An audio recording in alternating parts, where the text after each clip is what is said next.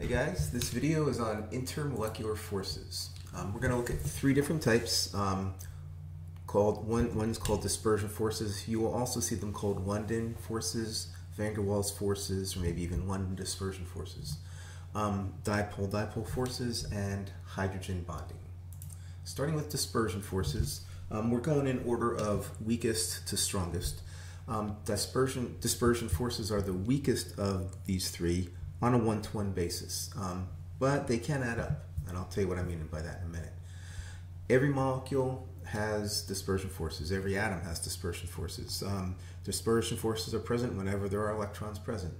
Um, and the more electrons there are, the greater the strength of the dispersion forces.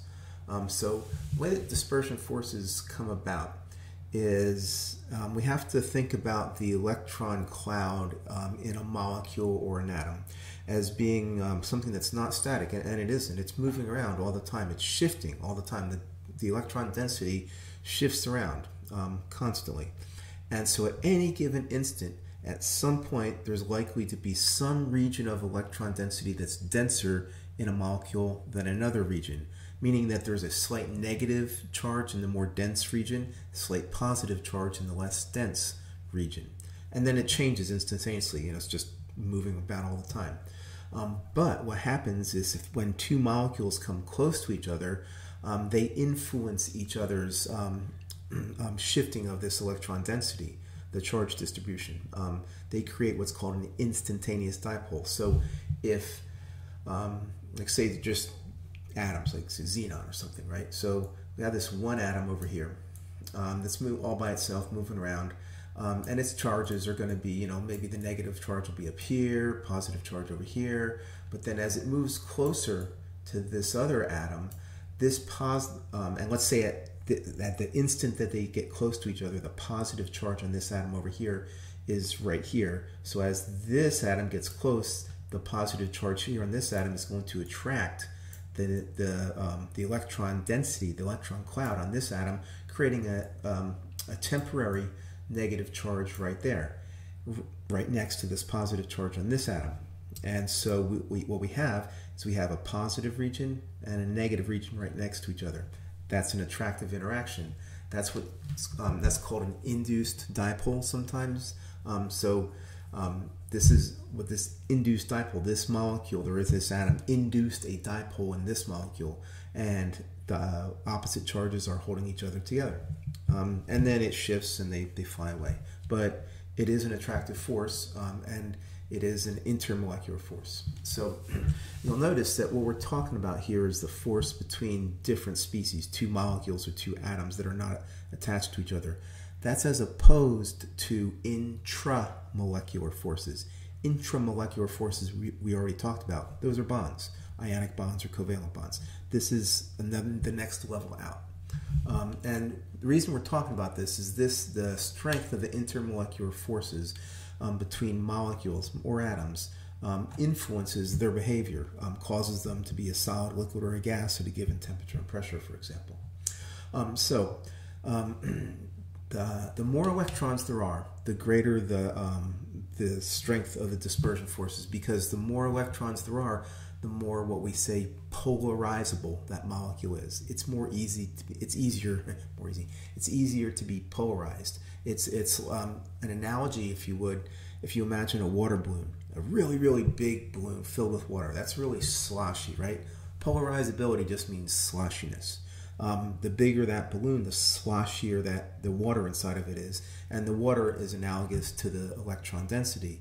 So a large atom or molecule with a lot of electrons is very sloshy, very polarizable. It's easy to create larger regions of positive, more positive and more negative charge. Whereas in a really, really small water balloon, it's not very sloshy. So in a small atom or molecule, um, with not many virial electrons, it's not very polarizable. And that means that the size of the positive and negative charges that are induced are smaller, and so the strength of the dispersion forces is smaller.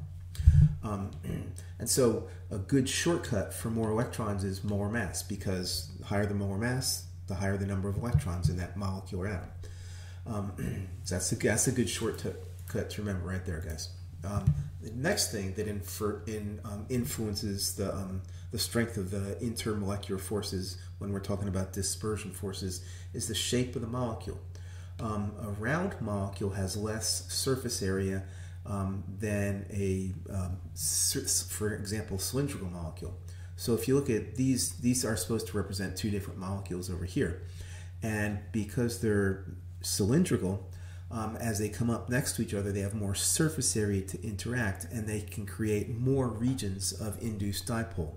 And more regions there are, the, the, the greater the overall strength of that intermolecular force. Um, these forces are, are summative, they, they add up. Um, so if we have two molecules that are about the same molecular weight, but one is cylindrical and one is spherical, the one with um, the cylindrical shape will have greater um, the greater strength of the intermolecular forces. Now, we're going to talk about um, properties of liquids um, and solids um, a little bit later in this chapter, but one of the things that um, intermolecular forces influence is the boiling point of uh, liquid. The stronger the intermolecular forces, the higher the boiling point because um, the stronger the intermolecular forces are, um, the more strongly those molecules in the liquid phase are, are held to each other, and the more energy we have to put in to pull them apart to create a gas. Um, so the stronger the intermolecular forces, the higher the boiling point, and vice versa. The weaker the intermolecular forces, the lower the boiling point. So, for example, um, which of these the carbon tetrafluoride or the carbon tetrachloride do you think has the highest boiling point? Which of these two, um, this is called N-pentane or terbutyl, um, has a higher boiling point. Um, so once you guys figure it out, um, when you get an answer, come on back. Welcome back. Well, um, between these two right here, these are both, um, neither one of these, they all have, they have the same shape. They're both tetrahedral. If you draw out the Lewis structure and use VSEPR theory, they're both tetrahedral, so the same shape, which is basically um, what we're talking about here in terms of intermolecular forces. A tetrahedral geometry from the outside basically looks like a sphere. Okay, um, but the only difference is one of these has four fluorines and one of them has four chlorines.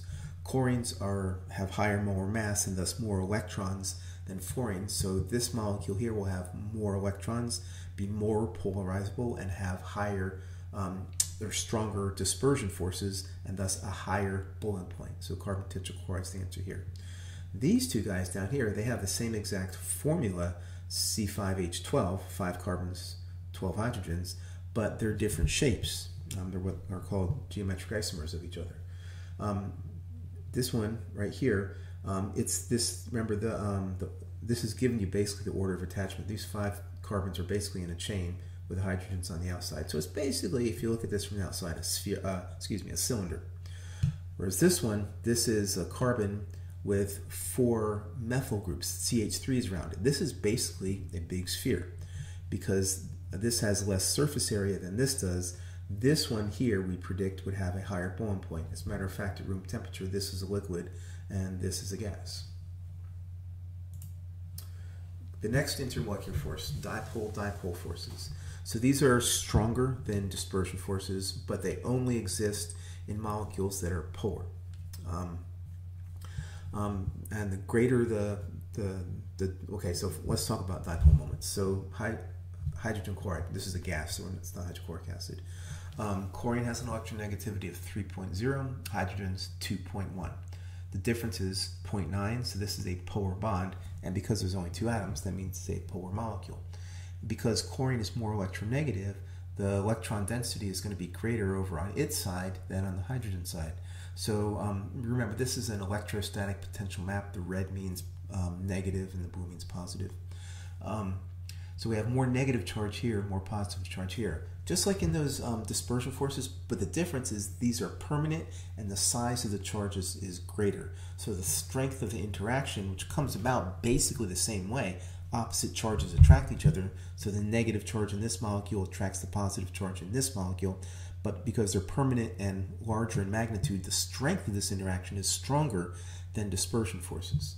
So if you have a molecule that has dispersion forces only and a molecule that has dipole-dipole forces, Usually the one with dipole-dipole forces is going to have a higher boiling point and other properties that we're going to talk about later. um, the greater the dipole moment, the stronger the dipole dipole forces. So when we say dipole moment, basically we're talking about um, how big the charge is and how far apart the two um, atoms are from each other.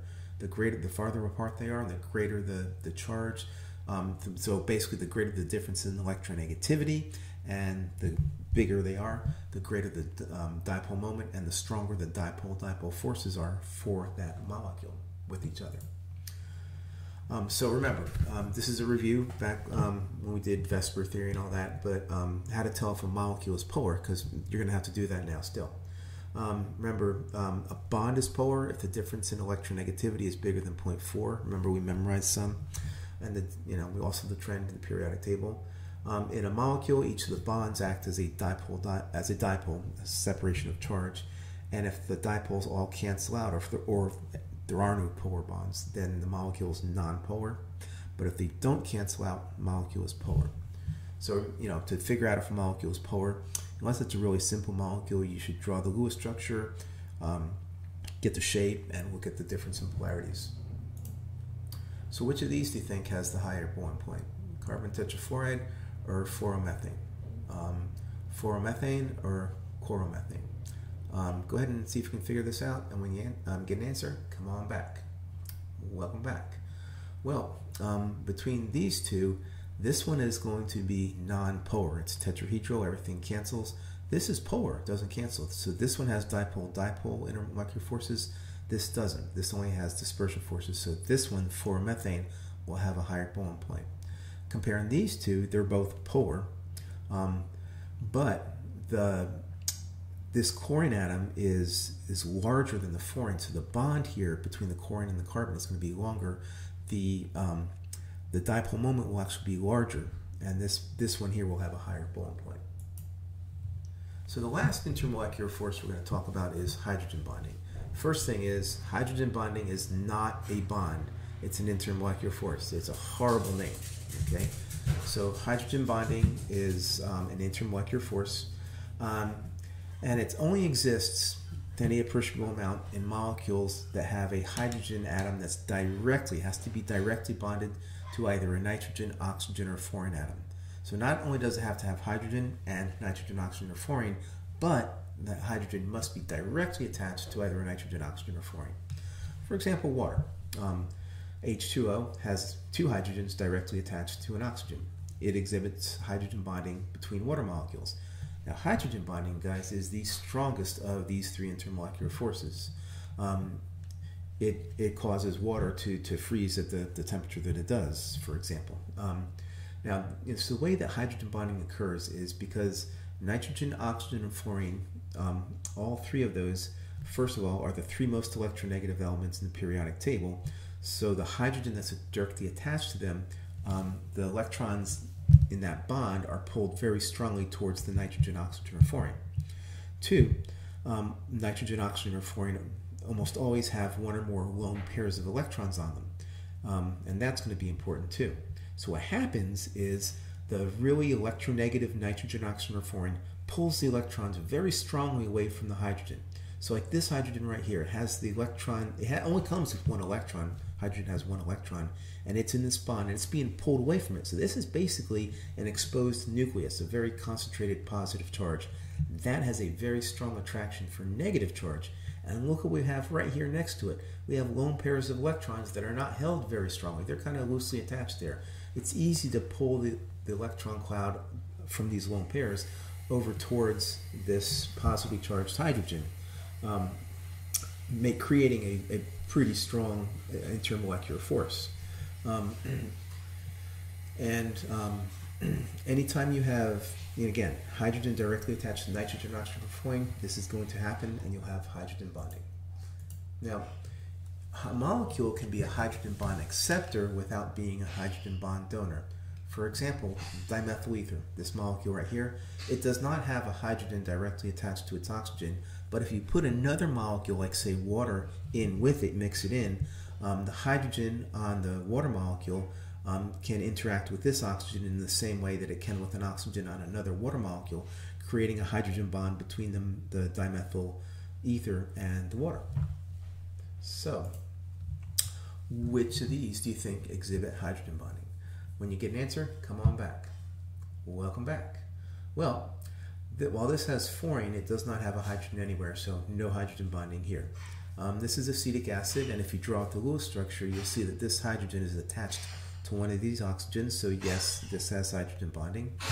This is fluoromethane. Um, it has a fluorine and has hydrogens, but the, for- the hydro- none of the hydrogens are attached to the fluorine.